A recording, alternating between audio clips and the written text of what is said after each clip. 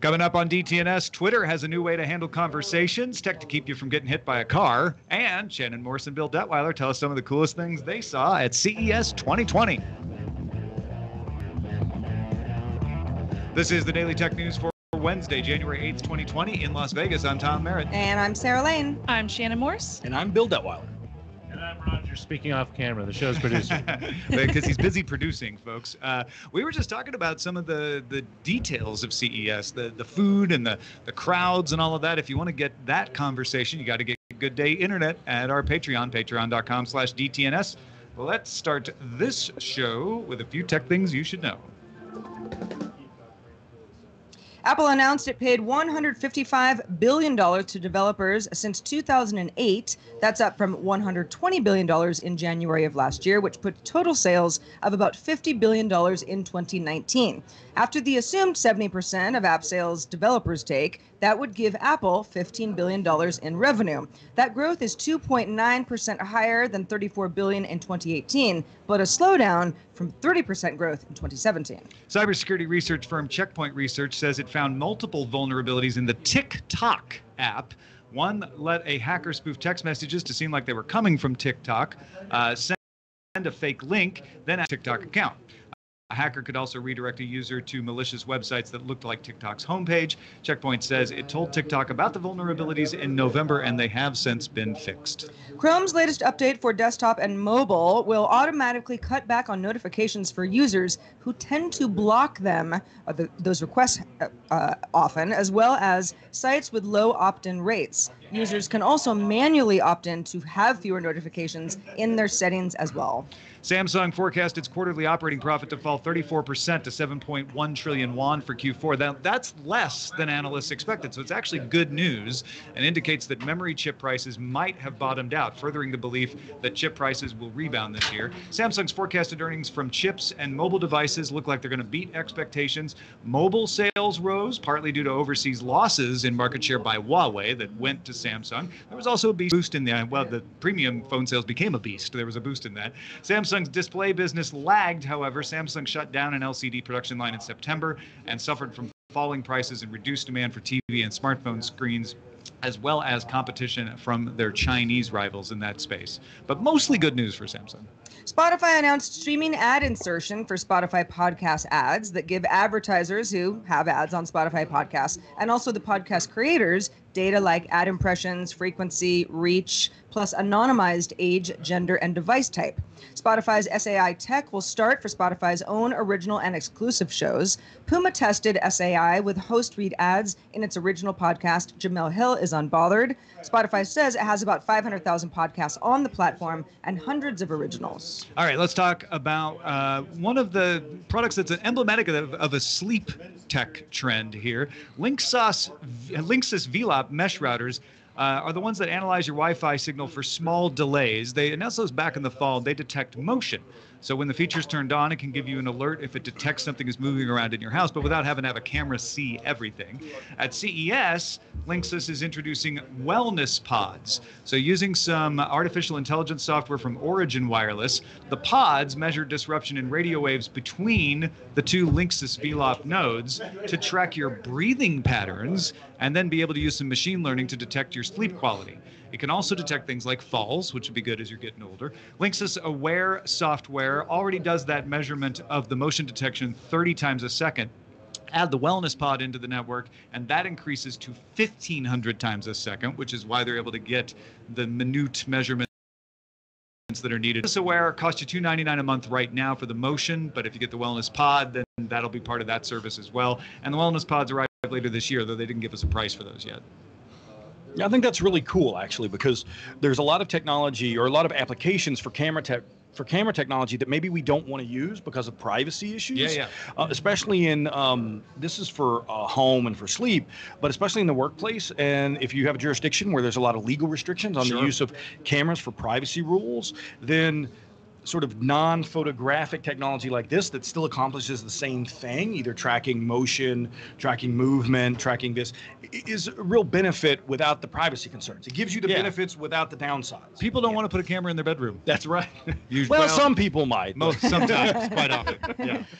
I feel the exact same way, Bill. Uh, privacy was a huge concern of mine when I was reading this, and as soon as it said like the, this is a cameraless detection uh, using the radio waves, sounds really fascinating. It sounds like something that could be very accurate, especially since it's checking so often. Uh, that also sounds like, since it is just checking and it doesn't seem like it's going to be pinging out a lot of information, uh, I don't think it's going to affect your network too much. Yeah, but you know, time will tell if that's Mhm. going to be a use case issue. But I don't think it will. Um, love that it's free if you already have the the per month fee or if you already pay for the annual fee uh, with with the Linksys um, annual subscription. So that's cool too. I'm glad Yeah. that they aren't making you pay more. And I know this this is new, but I would love to know after there's a little bit more research between something like breathing patterns or like what my Fitbit is measuring, which is heart rate, how they differ, if if one ends up being better than the other, if a combination of both is something Yeah, that can be achievable, where where we really get a better sense of of, of how we're sleeping at night, kind of comes into Yeah, play. could you combine different data points for more accuracy? That'd Yeah. be cool. And it'd be really cool if there was some, you know, we talk about interoperability all the time, right? Yeah, if there was some standard. So we were talking about sleep tech earlier, and so Philips has an updated version of their headband Oh, that right. tracks your REM stage for sleep to help you Mhm. fall asleep, to wake you up when you're in light stage of sleep. They have a band that goes across your chest to help you uh, combat snoring. It'd be cool if you could pair that kind of data with your fitness tracker, whatever you're wearing on your wrist, with something like this from uh, Linksys, from and, get a more complete picture of your just overall health and wellness. That's kind of advanced trend because we we know that uh, Apple, Google, and Amazon are, are working on an open standard for smart home interoperability.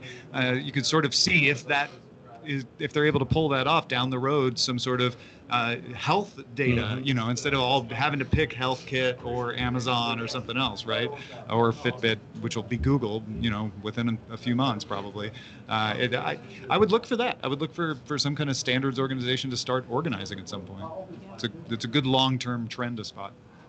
Well, some interesting news coming out of Twitter that will affect threads going forward. Twitter's director of product management, Suzanne Xie, announced that Twitter is preparing a setting for conversation participants on the compose screen. It will have four options. So let's say you're about to compose a tweet, you want to hit send. What are you going to do? You have global, you have group, you have panel, and you have statement. Global will let anyone reply. That's how it works now.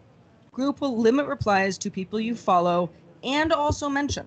Mhm. So you're following the people and they're also in the tweet. Panel is just people mentioned in the tweet. And statement would be a tweet with no replies allowed. I just want to say something and throw it out into the void and you can look at it and that's the end of it. Twitter will launch experiments by this uh, by the end um, in Q1 with the idea of launching it globally by the end of the year. Xie also said in a threaded conversation view that's been tested in the public prototype beta app will come to the main Twitter app in the coming months. And it's important to note that you can still quote tweet somebody. It doesn't mean that you can't sort of throw your hat in the Yeah. ring when it comes to the conversation, but it won't be in the thread itself. Someone. Yeah, Just unless, won't be unless, part of the unless they've blocked you. Yeah, you yeah. can still do that, but you're kind of going to be coming from left field at that point. Well, it makes sense with this threaded conversation uh, interface coming that they'd want to make that a more quality thread, so it's not just full of, of random stuff. And and this is a way to control what kind of conversation it's going to be. I like that the person who's starting the thread has this kind of control because there's been lots of times when I just like straight up want to just echo chamber something out there and I don't necessarily want replies, uh, whether it's just like complaining about a piece of tech and I don't necessarily need to know how to fix it, even though everybody on Twitter wants to tell me how. vent, Right? I just Yeah. want to vent. Yeah, so yeah. I would love this idea of like turning off comments, basically, which is very similar to a lot of other social networks. Uh, I, I, I think it's really cool and um, would be also useful for like harassment and stuff, even though, again, you can still quote tweet. yeah.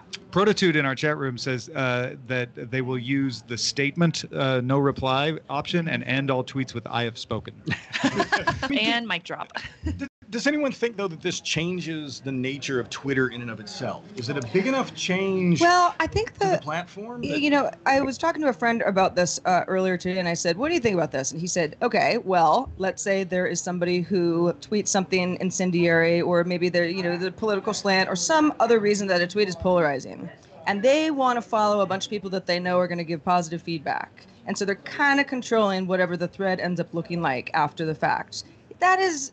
You know, potentially a problem. It, of course, depends on the content of the tweet and and, and what uh, the person was going for originally. But I can see where threads, which kind of half work anyway, they're- as the as they stand now, it seems like okay, you, you have a little bit more control as an individual, but it, it almost sounds to me like it's going to confuse somebody all that much more about what the public sentiment is over something that would have a lot of conversation if they're not paying enough attention based on these new rules. This doesn't Yep. fix Twitter. no. I don't Okay. think it's meant to fix Twitter. Right, yeah. But it, it fixes a specific use case, which is uh, thread getting hijacked. I, I think we've all And- been part of something where Yeah. we say something about one thing, and then j- other people jump in and start having conversation with each other, and they weren't even part of the original thing. And you're like, "Can I unsubscribe from to this to Or- my own to my own thread and I, and I think from a broadcaster perspective you know it's it's really interesting um, because y- so often you'll put out a news story uh, I'll just not to take it in a political bent but since we're here at CES um, we had people cover Ivanka Trump Sure. um, at her uh, She's interview the keynote. today, the Yeah. keynote, um, and immediately the threat, you know, it was like, "Hey, here's what Ivanka." Straight news coverage of the event, and immediately it gets hijacked Yeah, yeah. by Yeah, 'cause why are you you know people on both sides of the spectrum sort of commenting on that. And so as someone that just wants to say hey we wrote about this. Why don't you come and read it? Um, and then you know if you you know it, it allows the conversation not to be hijacked by people that just want to vent. Well, and that's a, that's a great example because you could put that out as a statement, and then And your that's feed exactly doesn't get a bunch of replies, but someone can quote retweet it and start their own conversation with other people about it, Yes. however they want, and that's fine. Uh, Google's Project Zero has a good reputation for finding vulnerabilities in all kinds of software, not just Google, but often rubs the companies with the vulnerabilities the wrong way because of its disclosure policy. Up until now, the policy has been to disclose a vulnerability as soon as it's fixed whether the company that fixed the vulnerability wants it disclosed or not. And you've seen that happen with Microsoft and Google and a lot of other companies in Google. So for 2020, Project Zero will try out a policy of disclosing vulnerabilities only after the 90 day window has expired. Uh, unless the company fixing the vulnerability agrees with Project Zero to disclose early.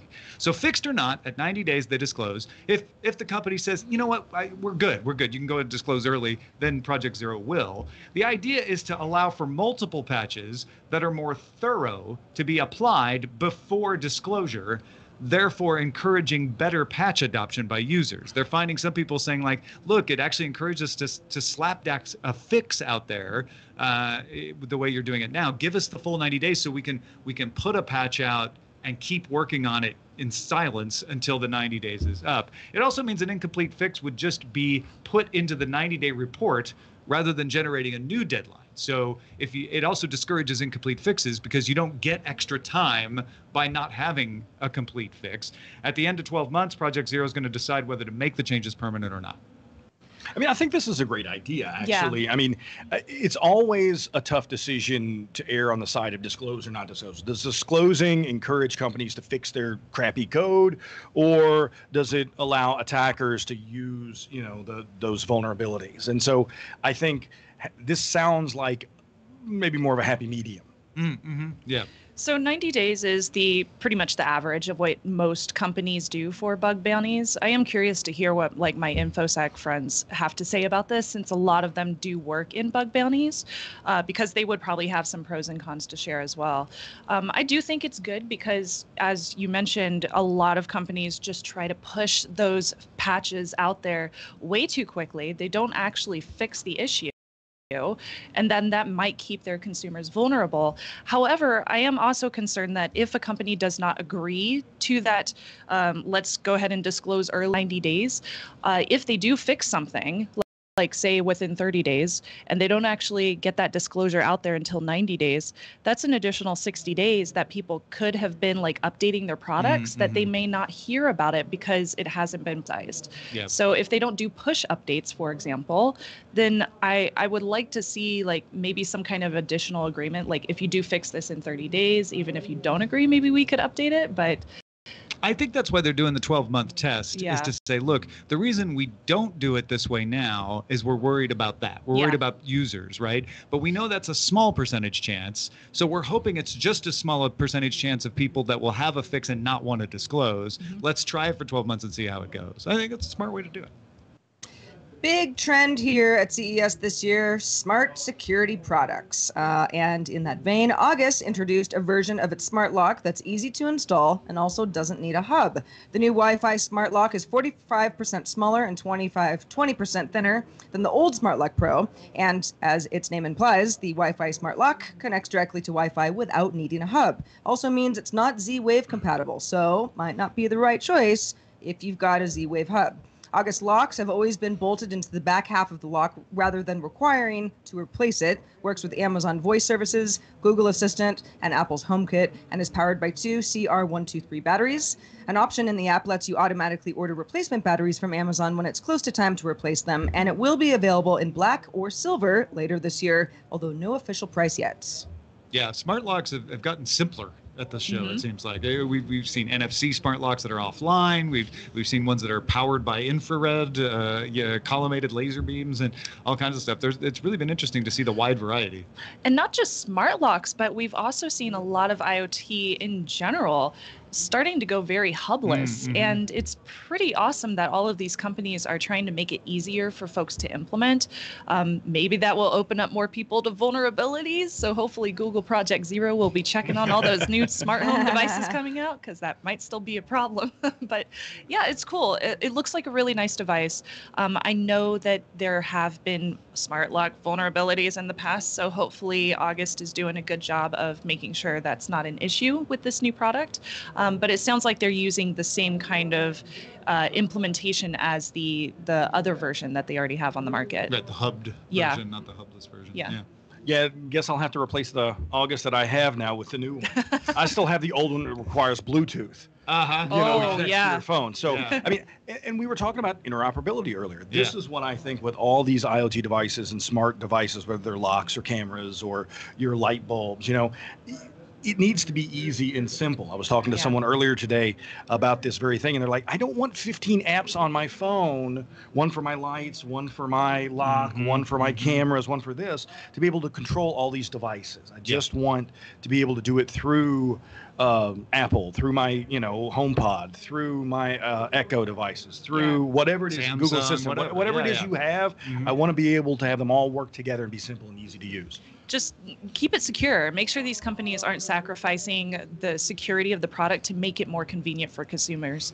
I realize like convenience is really important, but a lot of companies just d- overlook the security that a lot of these IoT products should have. All right, this one's a, a, little bit high concept, so so bear with me. Ars Technica reports on Harman's implementation of vehicle to pedestrian systems, or V2P, you'll hear it said sometimes, meant to help cars avoid hitting people on foot or cyclists. Uh, falls into this as well. The Harman system uses 5G peer-to-peer signals to detect a smartphone in the vehicle's path. So if a smartphone's in your path, it's likely on a person. The vehicle not only gets the info, but the pedestrian or cyclist phone gets an alert too. Now, there's a lot of questions about how this is going to be implemented and how that alert gets to the phone and how the person notices that it's there. But the idea is that both the car and the pedestrian get an alert that says, hey, look out. Uh, V2P is not new, but Ars Technica's Jonathan M. Gitlin notes that Savari announced the New York City Department of Transportation will deploy its Smart Cross V2P system, which can alert pedestrians about traffic light status, as well as vehicle to pedestrian enabled vehicles when pedestrians are present. So we may finally be starting to see this technology that's been around for a long time be implemented. A lot of people thought it was going to be vehicle to vehicle, but there's been problems getting everybody to agree how to play in that ballpark, and maybe pedestrian hits first. You know, it could be. I mean, uh, there's so much that's happening behind the scenes with 5G. You know, with the ultra low latency, with the high bandwidth that you really need to have vehicle to vehicle, vehicle infrastructure, and vehicle to person kind of communication in real time. Just starting to see some of these technologies um, enter that kind of real world like use case test. So I'm, you know, I'm excited to see how this starts that transition too to autonomous vehicles. You know, truly autonomous vehicles, uh, vehicles as a service. You know, and how that affects sort of transportation in general, whether you're walking or whether you're in a car. And Shannon, you mentioned this before the show that you know the timing of all of this is really important. I mean, this is essentially the equivalent of me being like, "Someone's about to hit Tom. Watch out!" is Tom going to run out of the way in time? Is that enough time for him to be like, heads up, I'm in danger kind of thing? Yeah. Um, that is, I mean, that's case by case. It's a big integration question. Is how, especially how are they going to make sure that that message is received in time to make sure the person, the pedestrian, is not run over while they're walking across a crosswalk. I mean, pedestrian deaths are on the rise while Yeah. vehicle, uh, like in-car deaths, are declining. Yeah. So this is a problem that needs to be solved. It is and I a think the idea is, well, some kind of alert is better than having no alert. Right. Uh, Yeah. You know, And, having both the car and the pedestrian in that scenario having an alert Yeah, at yeah. the same time So does maybe, uh, double up on you the have like a, a, a double chance of somebody at least seeing that notification. So Yeah. either the pedestrian stops or maybe the car stops. Or I can imagine down. uh, a lot of people will have earpods on Yeah. if, or earphones on if, if this is a problem, if they're not paying attention, and then some Mm-hmm. kind of alert coming, you know, interrupting what you're listening to says, hey, watch out. Um, Stop looking at the sidewalk. Look up. Yeah, maybe it just nags you. Like, Right. watch where you're going. You're going to get hit if you Yes. act this way any longer.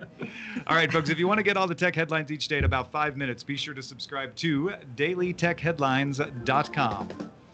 Uh, the past couple of days, if you missed the show, go back and listen to them. We we have covered all of the major announcements at CES, all the things getting buzz, all the things that caught our eye. Uh, and today, it's a nice chance to sort of take a step back and get a perspective on on maybe some of the things we missed or some of the things we want to spend a little more time with. So we're asking Shannon and Bill uh, to share some of the things that that they've seen uh, that have caught their eye. And Shannon, we'll, let's start with you. What have you been looking at? Yeah. So have y'all heard about Celestron's new application that they were showing off at one of the press events? Yeah, the the telescope related thing. I heard about that. It was really cool. I'm I I'm from like an astronomy background, so I was really excited about it. It's like live long and prosper. StarSense Explorer, that's the application name, and it's a application that teaches you and educates you about what's around us in the universe, but it also connects to a telescope, so it will help you really easily and really quickly find all of these different things in the sky and be able to see them through a telescope. It's really fascinating. Um, telescopes, for the longest time, if you wanted really good lenses, they're insanely expensive. And if you want to bring those into like a classroom setting, or if you want to bring those home for kids, it's very hard to introduce that because it kind of prices people out of that market. So they're putting this information and this technology onto your phone. So when you purchase the telescope, you're only purchasing the lens and the metal. You're not Ah, purchasing uh-huh. motors Mhm, or mhm. computerized parts. So that's keeping the price down for the telescope. The application itself is free and you could use it to like educate yourself, but what you're really getting is the ability to quickly and easily find things in the universe that you can look at through a telescope. I mean, nothing will replace that father-son bonding I had of my dad going, "No, no, no, it, Jupiter's right there. no, hold it right there." But, but I, I, I think this probably is progress. it was really cool. So I definitely got a demo. I'm hoping I can get a review product so I can actually see it myself. It would be really fun. Um, I'm sure you've probably mentioned the Alienware concept UFO. I know you talked a, little bit about that. Um, that was something that I was really interested in. From my perspective, I'm not comparing it to a Nintendo Switch because it runs full Windows 10. I have this huge backlog of Steam video games that I've purchased throughout the 10, 15 years that I've been playing PC games. So the idea of being able to take that onto a remote device, even if you want to plug it into a larger monitor, maybe in my in my uh, living room, for Mhm, example, mhm. uh, this is something that's really enabling me to take all that information with me. I don't have to like, it's like taking the old school LAN parties of gigantic PCs that you would tote with you to the Yeah. local community center and instead sticking it in your pocket. Yeah, bring the LAN with you. Also, I want to run Doom on it and stick Linux well, on of course, it because why not? Why wouldn't you? Why Yeah. wouldn't I? Uh, the last one I wanted to mention as well was Asus. So they are doing some new PCs, mini PCs, and hobbyist boards. Um, the Tinkerboard R and I believe the other one was called the T. But these are basically like comparable to Raspberry Pis. Uh, with Raspberry Pis, you have a lot of abilities. You can do like a Pi-hole or a home theater PC, et cetera, et cetera. Uh, this one can do facial recognition. You can run some awesome technology on it to do facial facial recognition. So like companies could use these, uh, but you could also use it as a consumer trying to learn about boards and how you can do different open source software, how how you can create your own home theater PC, how you can run like an audiophile device. Also, it's kind of limitless in the fact that uh, Asus has the hardware capabilities um, to make it a lot more powerful than the Raspberry Pis currently are. So they're bringing a lot of that like hardware background that they have into these little boards, and I love that they're creating a more competitive marketplace for folks that are into Raspberry Pis and Arduinos and things of that nature. Yeah, yeah. Uh, so I'm excited to see it. They have like a GitHub, open source community. They have a forum. So lots of people seem to be pretty involved with this, and I'm excited to see how it grows. And I kind of want to play with one. It's the Tinker, right? That's the Tinker, platform. yes, the Yeah. Tinker Yeah, very cool. It's nice. It's nice to have more of that nerd out there. For I sure. agree. Yeah. All right, Bill. What, what's been catching your eye here? Well, you know, I focused on a lot of smart home and health and wellness tech this time around, and so there's been there's always gadgets that you look at and you go, you know, that's really cool, but do I need one of those? Uh-huh. Yeah. Um, a few of the things I saw. yes, you do. I mean, but that's I've always heard that that's the worst question to ask at CES. Do you need it? Like, Yeah. Uh, because usually the answer is no. Uh, but there's some cool products um, that I saw. The Procter and Gamble had with some of their brands. Um, Lumi was kind of this interesting product from their Pampers brand. Okay. It yeah. was this sensor that you put on the diapers of newborns, allows you to track your newborn's movements, and then also detect whether their diaper is uh, wet and to what percentage it's wet. Yeah, so this Um, is an this is an advance. Like we've we've been watching the diaper get smarter every Yeah. year at CES. That's, that's right. Now, Yeah. and you would ask yourself. When will it change the baby for there, you? there you that's go. Roger's question. for sure. Yeah. I, I already know. Well, and that's the exact question that you have to ask yourself. Whether it's that or Charmin was also showing off their they had their Go Lab at the PNG display, which showed off several bathroom techs, including a roll bot robot that delivered you toilet paper in the bathroom. Um, I always ask myself, is it something you really kind of need? Like they're going to market with Lumi. It, it, has been around for a while, but they've got the final product Yeah, here this year. Um, do you really need to know exactly how how moist the, a diaper is down to the single digit percentage? I don't I don't know. Um, I have a 16 year old daughter. some- I changed lots of diapers. I don't know if that would have made me a better parent or given some- her a there's no- healthier life. No I don't know. Tracking application of that. I don't. Well, there, there's maybe there is. movements. There's no because then they couldn't say anything, you know, Yeah, about it being a medical device. So there's a lot of things like that that I look at that are kind of neat and cool. Um, you know, we we talked a little bit about sleep tech earlier. So Philips has the headband, which is kind of cool, designed to sort of wake you up more easily. There's always fun tech. Um, I saw Keurig has their DrinkWorks Yeah. uh, system here. If you had a chance to see that, game, yeah, finally. that is exactly right. So they're pods that basically make cocktails, just like a Keurig makes coffee or tea. So if you want a uh, Moscow Mule or a um, what did they make for us today? Um, Another vodka lemonade, Vodka lemonade. and and so you know all the alcohol, the flavoring, everything is in the pod. You put it in the machine, hit the button, boom, you get a carbonated drink and chilled water if you need it. So that's kind of neat. I, I like that. Uh, four bucks a, a drink um, is about is what it costs. The pods are recyclable. Um, do you need one of those? Well, I don't know if I need one of those, but it's kind of this neat, smart gadget. In Um, fact, you may not. Need you may one. not need one of those. yeah. You know, I don't know if I needed a smart beer fridge, but they have a smart beer fridge right. here. Um, I, I also look for tech that's not just kind of, um, uh, you know, the tech that is maybe a little more meaningful, not to step on Keurig or anybody Sure. else's toes. Um, but we, AARP had several demos here of tech like uh, a Voiceitt system, which is really good. Um, it helps people that vocalize. If they have um, uh, motor neuron problems, motor problems, Oh, nice. Parkinson's, things like this, Mhm. and they can't vocalize speech. That's great. Um, they can use AI to translate that speech Mhm. into words. That would have been great so- for my dad. My dad Yeah. had that problem after his stroke. And- you know, some days were better than others. It would have been amazing to have something. and and and you think about not only is that an abil- a way for those people to communicate with other people, but it also unlocks a lot of smart technology that's based on voice Mhm, that mhm. can't do that, that they can't take advantage of. Mm. Um, that's really cool. They were using AR in a really interesting way as well.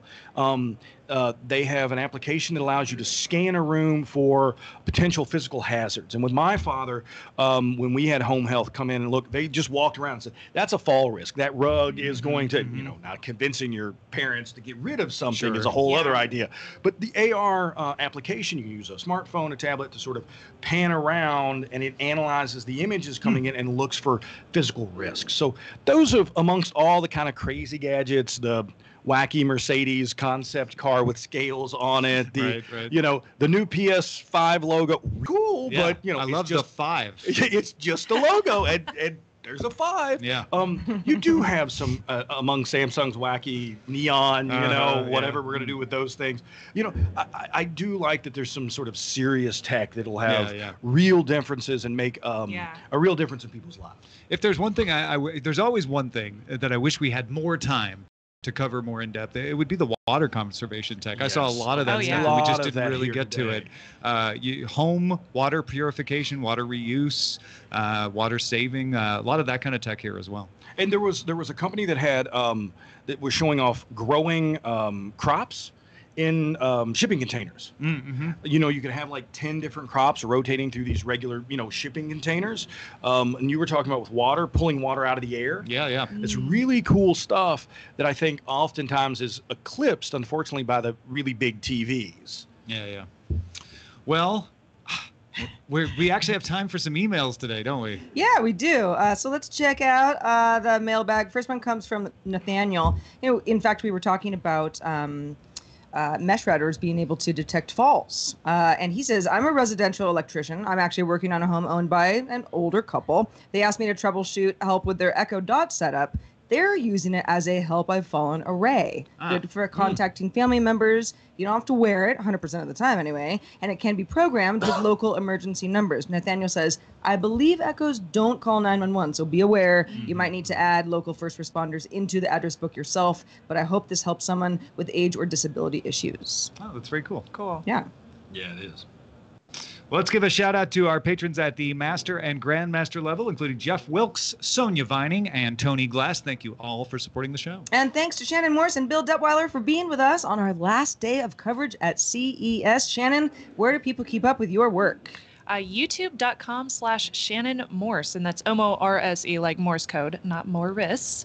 I am covering CES every single day. I have multiple videos like ready to go, so definitely check out the channel, especially if you're interested in security and privacy, gaming products, laptops, and uh, smart home as well. Although I might make fun of them a little bit if they don't have very good security, of course. And Snubsy.com for everything else, as especially ThreatWire, of course. And Bill Detwiler, thank you too for being with us. Uh, the last day of CES, it's becoming a bit of a tradition. yeah always glad to be here it's always fun um, I, I really enjoy it so thank you uh, tom uh, and uh, shannon for having me i really appreciate it Absolutely. Yeah. And, well, Shannon said, you know, she's on enough footages, and thank Roger too while you're at it. Uh, but but Roger. uh, Roger, Sorry, makes it all Roger. we won't forget about you, Roger. but, but Bill, let folks know where they can keep up with your work. Yeah, so they can see um, all of our enterprise coverage of CES and the tech space in general at Tech Republic and ZDNet. Uh, you can see the consumer work that we do, uh, including uh, cracking open at uh, CNET. Uh, we'll be actually cracking open a TV and a Nice. Rismo on the CNET stage live tomorrow, so that should be fun. And they can people can follow me at Twitter at Bill Detwiler. Yeah, uh, and thanks to Bill and the folks at Tech Republic's good graces, you can catch a little bit of me there on the uh, top five videos as well. I, uh, so check that out, techrepublic.com. Thanks to everyone who supports the show. We're able to be here and talk to these folks in person and see this stuff ourselves, uh, bring you some video on the Patreon and on our Instagram uh, because you guys support the show. Uh, so everybody who supports the show on Patreon, thank you for making this possible. Patreon.com slash DTNS if you want to join in. Our email address is feedback at dailytechnewsshow.com. You're giving us so so much good feedback on our coverage here. We've had a really good time, and we hope you have too. We will be live Monday through Friday at 4:30 p.m. Eastern, 21:30 UTC. Back on our home bases starting tomorrow. Find out more at dailytechnewsshow.com/live. See you tomorrow with Justin Robert Young. This show is part of the Frog Pants Network. Get more at frogpants.com. Diamond Club hopes you have enjoyed this program.